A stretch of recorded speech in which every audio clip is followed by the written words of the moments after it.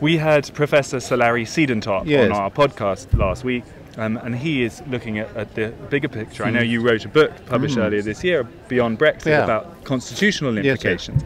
Uh, Solari's idea was that, well, first of all, on one detail, I'm really interested to get your reaction, which is that he felt that the decline of the squirearchy um, historically um, has in fact led to the collapse of a kind of regional power settlement in, Yes. the, in England in particular, Yes. and that has made the need for a written constitution much larger. In other words, that hmm.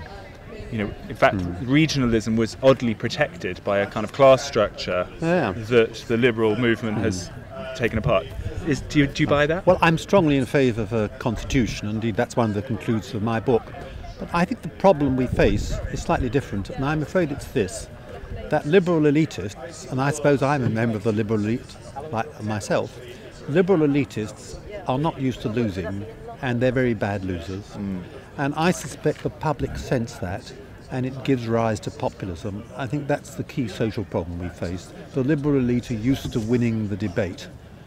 Uh, this time they're losing the debate. and They don't like it. And I think that is the fundamental problem that we are now facing.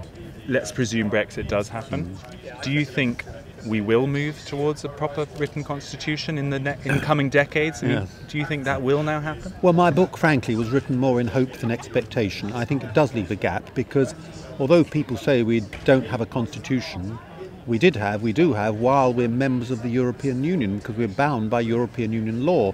One obvious example is we can't limit EU immigration. Parliament can't do that, even though a lot of people would like to see it done. And that was one of the motivations, of course, for the Brexit vote. Now, um, uh, there's a gap in the in the system leaving. We move from a protected system to an unprotected system. That's more or less unique in the modern world, I think.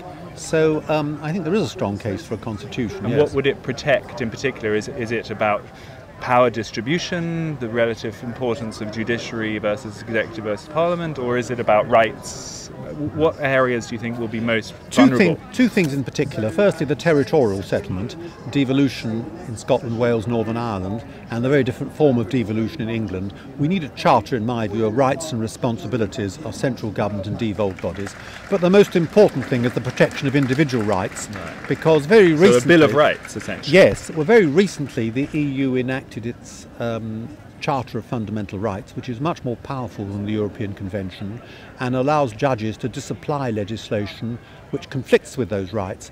Now, leaving that, this is the only part of EU legislation which is not being incorporated into our own law. I think that leaves a gap which should be filled by a Bill of Rights, in, in my view, uh, echoing the EU's Charter of Fundamental Rights. But if we've nearly torn ourselves to shreds over this, the Brexit thing, can you imagine a public debate about what should be included in a constitutional Bill of Rights? I mean, this is could- this would be a, a horror scene. It would take decades, and we'd, we, we'd never get back to normal. Yeah, I fear you're probably right, but I do think it's uh, of immediate importance to have a charter in relation to devolution.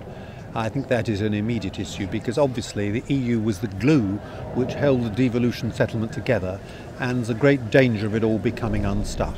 Perhaps I can conclude that we're one of just three democracies that doesn't have a constitution, the other two being New Zealand and Israel, though Israel is moving towards one. So we're pretty much an an outlier. elite group. Yes, and it might be worth asking this question to yourself. The other 27 members of the European Union retain the Charter of Fundamental Rights. We don't. Our rights will be guaranteed by Parliament. Now, are our MPs so much more sensitive to the protection of rights than MPs in the legislatures of the other countries that they should be entrusted with this vital function? I leave that question for you to answer. The public probably thinks not.